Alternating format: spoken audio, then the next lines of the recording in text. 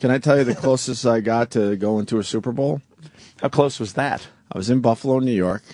I was doing uh, what was I doing back then? Overnights slash mornings. I was helping the morning guys out a little bit, and uh, I got involved with a promotion. Did I ever tell you this one? Oh no. You know how Buffalo it's really cold in the winter, Well, how cold? Oh yeah. and uh, I would say it was almost a bit. single digits or low teens for this particular Super Bowl. I don't remember who they were playing because I was up there for three out of the four, and uh, we were broadcasting from a bar. Nice, right? This is the closest I got. is. and uh, we got a uh, a hot tub that we put outside the bar. Boy. And every time the Bills scored, we all had to jump in the hot tub. But there was local TV. Hey, of course there was. And covering this game. oh boy, wait till you hear this story.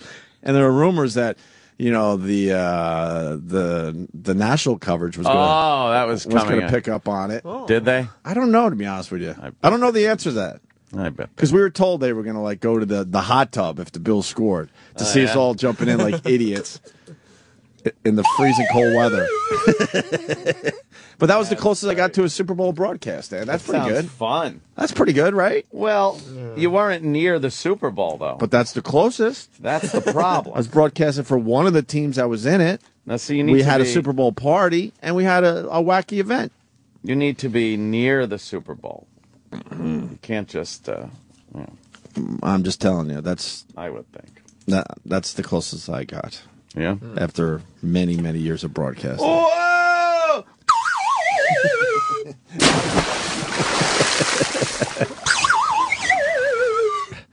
It's one of those. It's one of those promotions. You do it, and then you you sit there in the hot tub, going, "Now what? We look like idiots."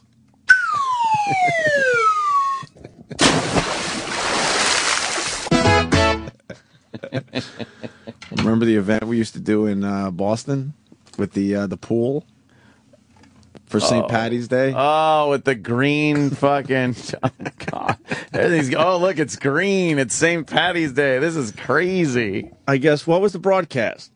There were shamrocks at the bottom of this. Like right. it was a pretty impressive pool. It was one of those Oh. above ground Yeah. pools that you kind of see in a lot of people's backyards. Yeah, And they're inflatable, so they're a little bigger than just a kiddie pool. St. Patty's Day still cold in the Boston area. Mm-hmm.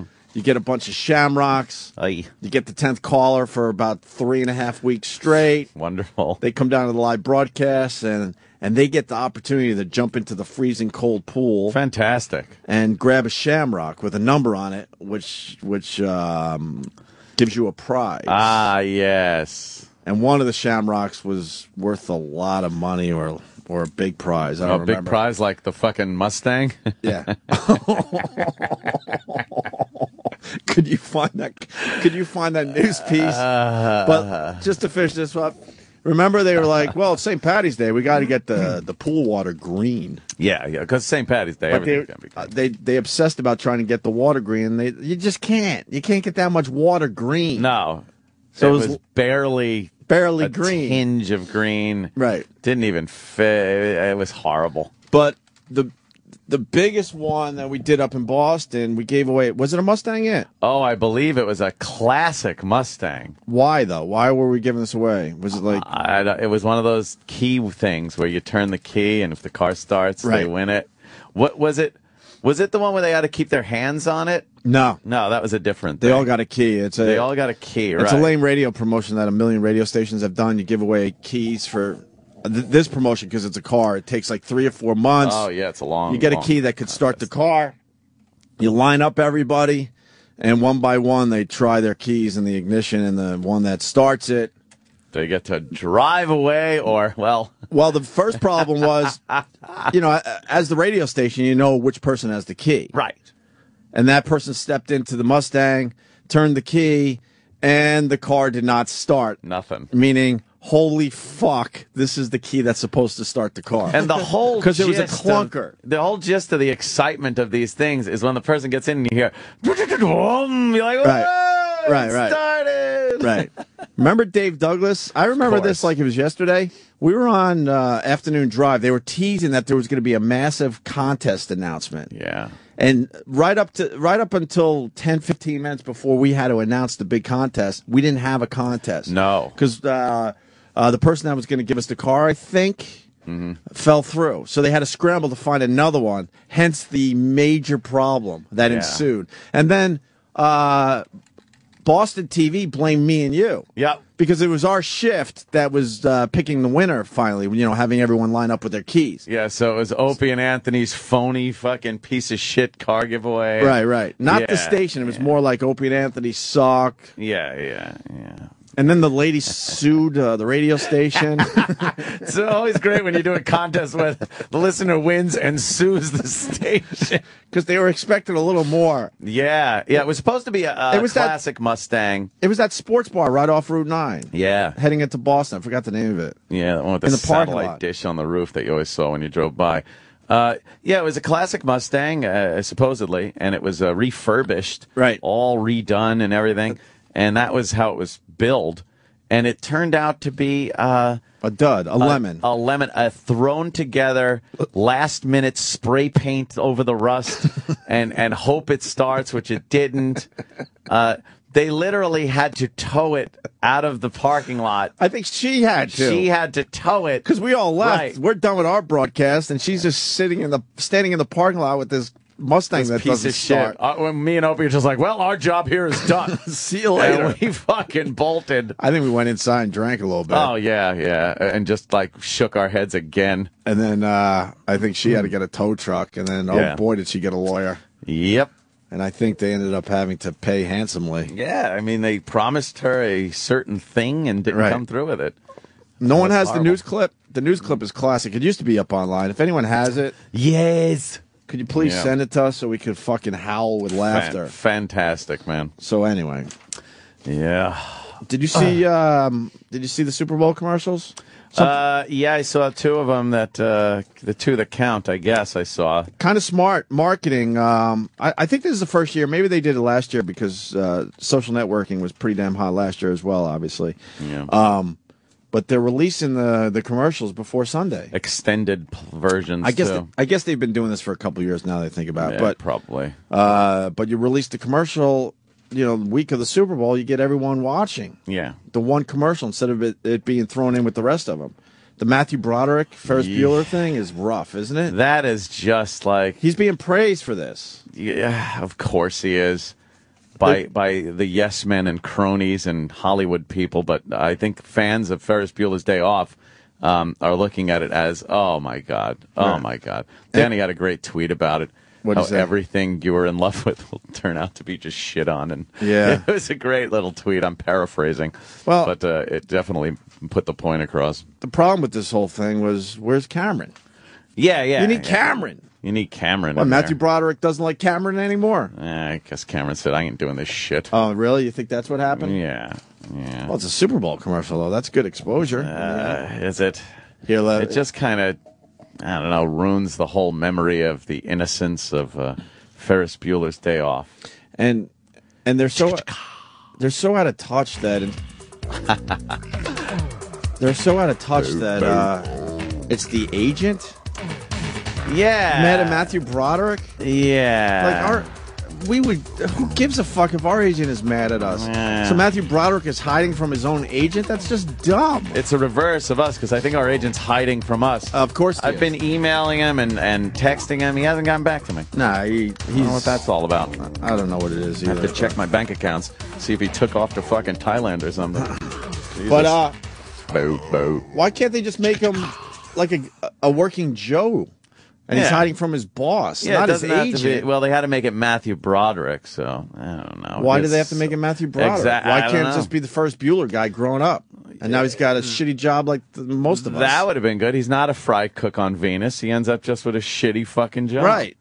Yeah. So the concept where he's Matthew Broderick and he's hiding from his agent, first of all, that's just stupid. Yeah. Someone should have fucking spoke up in the meeting and said this isn't going to work. That was dumb. The Seinfeld one I liked better. you like the Seinfeld one? Yeah, You yeah. see the zip lines? Yeah. Who, who talked about zip lines on Zip this very lines show? through New Manhattan. I'm telling you, man. I think I think it's going to Yeah. take a little longer, but I'm I'm telling you, I think you're going to see zip lines in Manhattan eventually. I'm telling you.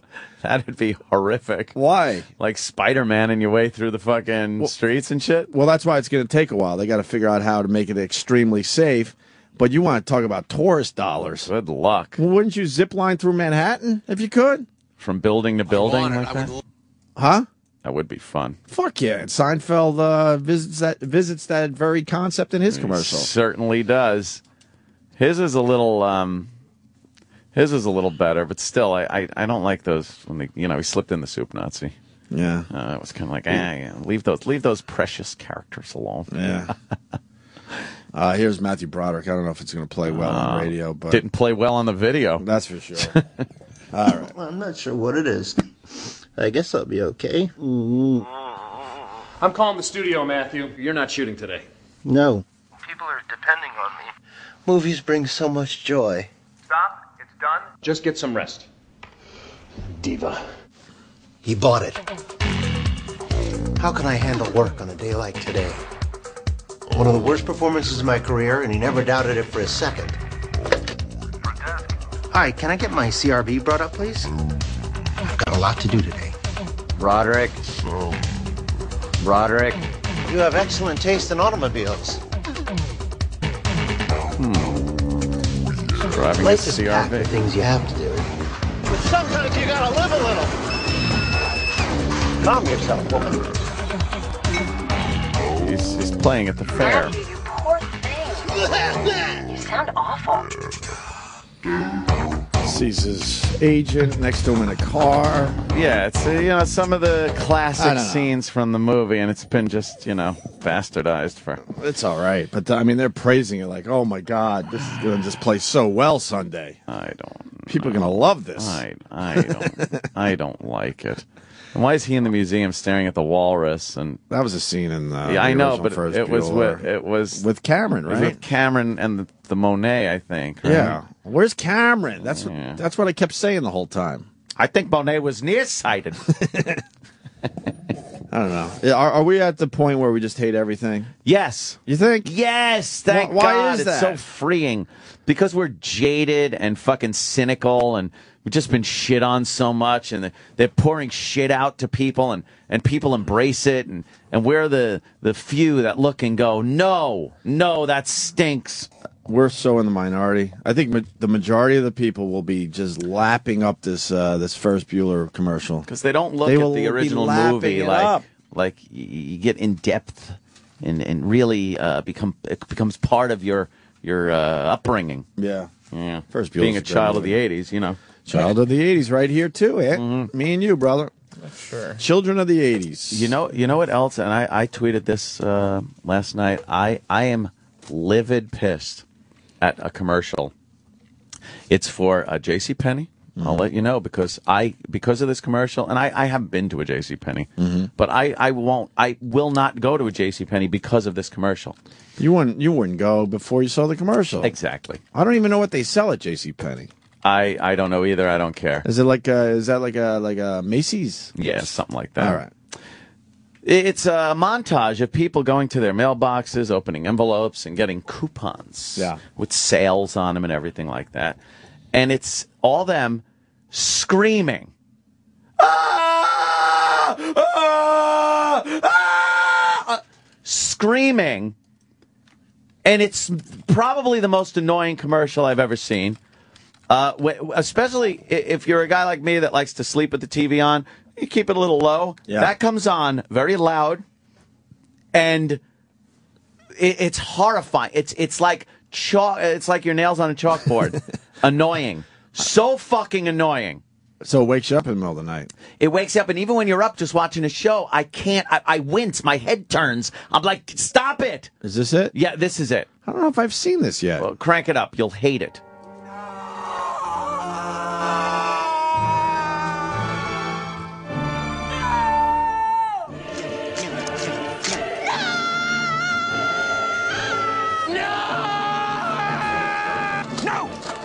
And This isn't even the worst one. Why are they screaming? I guess they're going to tell us at the end of the spot. No, They don't even tell you? no. Enough is enough. What does that mean? I don't know. What does that mean? It means they've come up with the most annoying fucking commercial ever. But they give And, you and I can't take it. they give you a date, so they're going to tell you on that date, I guess. Their thing, I believe that their thing is that they're eliminating coupons and sales, and they're going to make their prices always low. Oh, really? That's What? thing. Oh, they- what kind of a fucking What happened? What kind of a fucking uh, carny move is that? What happened then? Stop it. That's why they're screaming no, no, no at the sales and the twenty five percent. Right. And the, Well, you know what? That screaming is fucking infuriating. Aunt yeah. Kevin from uh, Connecticut. It's uh, Kevin from C O N N on Twitter. Oh yeah. I one see his word. call there. I He see it. fucking rules. He he found the uh, the link. the link to the Mustang store. Yeah, Kevin. Good move. Uh, hold on. Uh, hey, Kevin, Good morning, guys. where'd you find it? Because we couldn't find it on YouTube anymore. I just typed in O&A Mustang lawsuit. Uh, lawsuit. Oh, okay. All right. Well, there you Stay on the line for a second. Oh boy. Opie and Anthony, old school O and A classic mad. Mustang. Oh, yes. Liquid. WCVB TV Boston. Oh no. Now, this is News Center. Oh no. Coverage you can count I'm on. watching these. Still to come, a winning prize or a losing lemon. Susan Wornick's buyer beware report is next.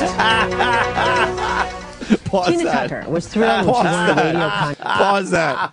The tease is great because they show the hood up, the, The hood's trunk up. The trunk lid's up. The doors are open. It looks like an abandoned car, which is pretty much what it was. But that's the news, fucking, you know, Oh. doing what they do, making the story even more sensational. Oh, it what I remember.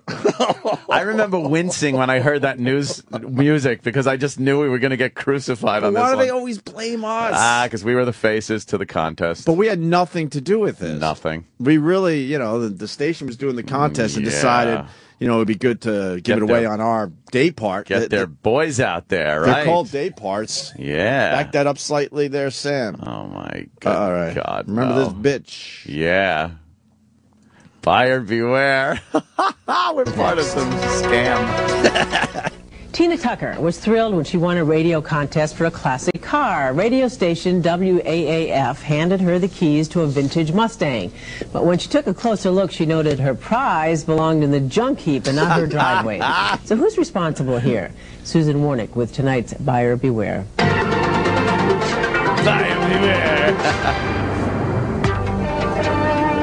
Tina Tucker couldn't believe her luck last February when she held the winning key in WAAF's Sam Adams White Ale Mustang contest. Sam Adams. Sam Adams again. Boy, Of course he's never talking to us again. boy, have we fucked over Jim Koch over the So years? we so he got fucked with this contest and still came back Ah. for the big one. Hey, I hear you guys are giving away a toy Yoda. yeah, it's a toy Yoda. Get it? Oh my god, Fuck you, assholes. this story. I, I, I'll well, Kevin from Con has it. Kevin from C O N N. If you want to go there now, and I'll I'll, I'll retweet this as well. But wow. but um. They have a picture of me and you in just horrible leather jackets. we look Oh, so sleazy. Oh, it just yeah. helps the story. It really does. I thought I looked cool in this dumb, long black leather jacket. Look terrible. All right. Just shill shills for the man. we look so just slimy. Adams White Ale Mustang contest. They gave me a key along with nine other people, and we all had a chance to try it. Mine started it. Oh, Tina won a 1967 white Mustang. I knew it wasn't going to be like a 1998 Mustang, but I never expected it to be in this shape. Tina's prize had body rot, a bad paint job, ripped seats, and broken equipment. and it wouldn't start. It's a piece of junk. They just show they they just showed the trunk, and the radio station was so lazy they didn't even empty out the trunk. There was garbage in the trunk. There was rust. And then the, the woman's shaking that shaking sound. You heard the rattling was her grabbing onto the front bumper and just shaking it, and it's going clank, clank, clank. this sucked. We even knew before before this woman even won, and before anyone said a word. We went to Dave. Remember, it said, Yeah. this is a piece of Yeah, shit. yeah. we're giving away a piece of shit. We got to make it sound good. yeah, and we've been bitching about managers and and program Yeah. directors ever since. Fast forward to today, we're not going to the Super Bowl. No. They're all just a bunch of idiots in the end. I love this clip. I This do, too. I forgot all about great. this. It's bringing me right back. She's so pissed off. Oh, it's a piece of junk. Right. Yes, it is. Congrats. And once again, they show a picture of the Mustang, and everything is open. Yeah, yeah. The hood, the trunk, all the doors. It's better to show the garbage. All right. All right. really is. it's embarrassing.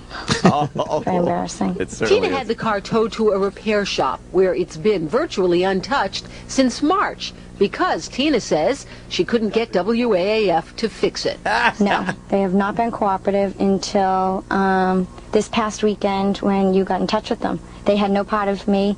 My stepfather got in contact with them. They were very rude to my father, and they have had nothing to do with me. They've washed their hands of me in this car for the past five months. We're very much a victim of Christina here. Pause. Ah, Dave Douglas. Oh, I can't wait to. Oh, is he gonna Oh. try to? Is he gonna try to smooth it out? I can't wait to retweet this. You This finally get is to see stupid Dave Douglas with his 70s porn mustache. Oh my God! Did he? He looked more like a retard than I remember. Remember?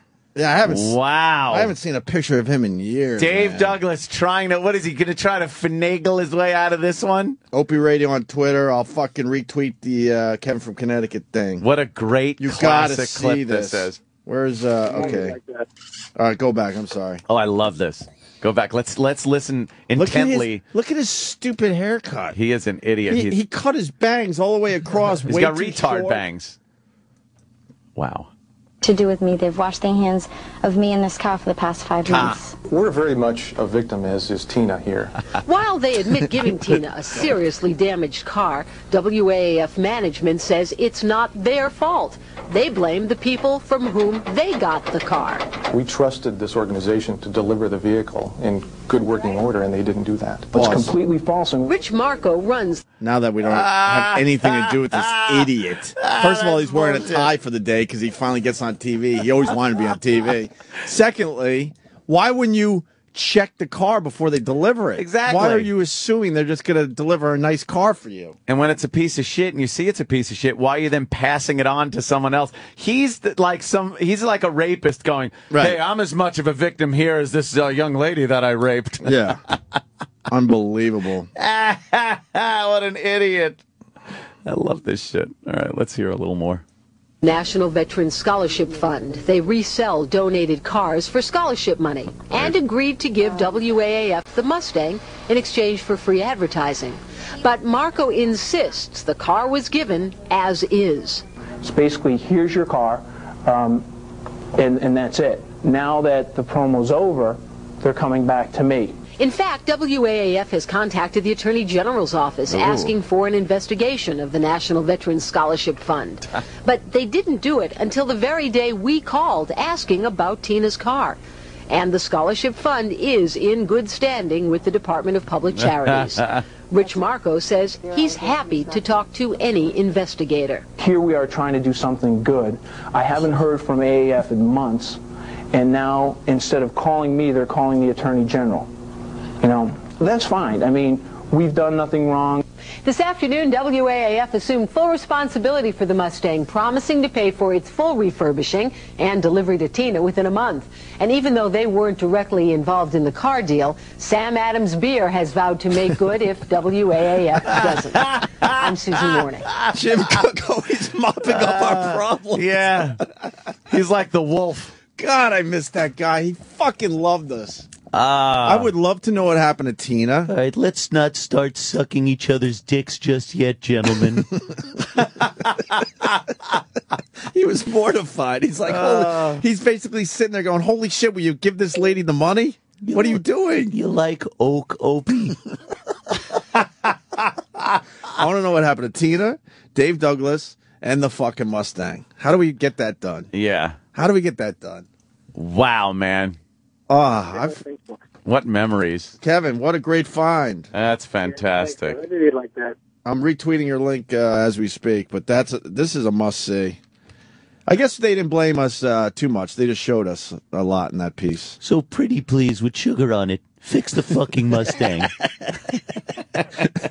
He's sitting there like, what the fuck's He wrong had to with be, you he's got to be the wolf. He's like, look, it's a lousy ten thousand dollars probably. if you went to the lady and said, all right, here, can we give you ten thousand dollars and call it even? Give her the cash. She would have said, fuck yeah. Absolutely. She would have said, yes, thank you very much. Yeah. And a, a, a typical radio station, just like fucking hiding and hoping, hoping the phone doesn't ring, hoping Yeah. there's no TV cameras outside. It sat in a lot for five months after we gave it away. Sat in a lot, rotting away more. Just rotting more. That that is a classic, classic and typical radio fucking promotion fuck up. Right. Oh, that is so and funny. And it's been going on ever since. oh yeah, yeah. And before Radio's that, the scum of entertainment. it really is. We've always known it. It's one step off of the Carney boardwalk. Yep, yep, yep. Oh man, that was funny. God damn, I forgot about that. Holy It's a shit! piece of junk. yeah, she was like, "It's a piece of junk." Dave Douglas with a fucking tie on. Oh, choke him with it. Uh, all right, let me fucking tweet this shit. yeah, you got to get that out there. People will love seeing Dave Dickless. About uh, just now. Wow, the hell It's is weird putting a that? face to the Dave Dickless. Huh? It's weird putting the face to Dave Dickless after all these years. It is. You got you got you got a lot of our old stuff, don't you, Kev? A lot of it's out there. I don't have it per se. Yeah. I forgot all about the Mustang. I don't even know how it came up. It just we were just talking about shit. You got any other ones that we might have forgot about? We were always uh, the, Two hours of audio. the Jesus. You know, I don't know if we've played in a while, but the WoW one is classic too. Yeah, the Wow News With story. the fucking um, with the news guy who had earrings in his ears. He was trying to like lull us into a false sense of security. Oh, he was laughing and loving uh, the whole promotion. we had naked girls in that us. day, and he was ba- he was very close to Oh yeah. some activities. And then we're all excited because he came in uh, under the guise that he was doing a, a, a positive piece on Whip 'em Out Wednesday. This is how stupid we were. Just a fun little piece. Yeah. and uh, and then we called everyone. We're all excited. Yeah, it's gonna be And great. holy fuck, they crucified us on the news. Uh, of course they. He got his suit on. He took his earring out and got all serious and Right. went, "The law should shut this down. The danger to people on the highway." We're like, what about the fun guy that Yeah. came in was laughing and squeezing tits and having fun? It's like, wait a minute, we. We, we we were giving you naked lap dances a mere two hours ago. I haven't. Uh, sex, uh, sexy has an update. Sexy. E-Rock has an update on what the Mustang. Yeah, uh, on her, we found her number, Oh. and I just gave her a call. Yeah. And I explained what we were talking about. She went no and hung up on me. Whoa! Whoa, really? Yeah. Why? Holding a grudge like that? Why? She she's not answering now. I don't know. So the Because contest. I asked her, I'm like, did you win this uh, white Mustang from WAAF? Fourteen years ago. Yeah, and she said yes. I said, well, this is the Opie and Anthony show. We want to just touch base with you, see what happened to you in the Mustang. And she went no and hung up. And now she's not picking up. wow, that was wow. wow. She's still pissed. Hey, lighten up, Francis. I forgot all about this. Yeah. She's still pissed. That's 98. That's 14 years ago. Coming up on 14 years ago. 14 fucking years. Lighten up and come on the air with us. Wow. Yeah, because you know they refurbished the thing and it was still a piece of shit. Tell her we're, we'll make good, Oh my god. and we're going to give her. How much should we give her? we should give her a toy Yoda Give her a hundred grand. or a hundred. 100 grand. All right, Kev. Uh, thank I'll you. for that wild story. Huh? I'll look for that wild. oh. I don't know. Have we played in a while? I don't want to keep doing the same shit over and over again. But if we haven't played in a while, it might be worth it.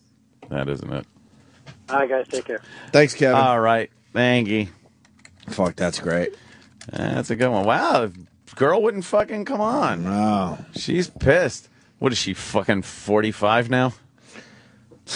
Uh, she looked like she was. Looked like she was Mid-twenties, maybe? Mid 20s. Yeah, she's over 40 now. yeah. And still holding a grudge. Holds that grudge, Damn. man. Wow. What's that about? She, uh, I'd love to know what happened with that. How did it end? We we have it right there, and she won't say, huh? That sucks. You know how it ended. they kind of patched it up and said, "Look, we we we we met our obligation, and now here's your piece of shit Mustang. Yeah. Enjoy." Dumb radio promotions. Oh, that's how that started. Yeah. We've done a few.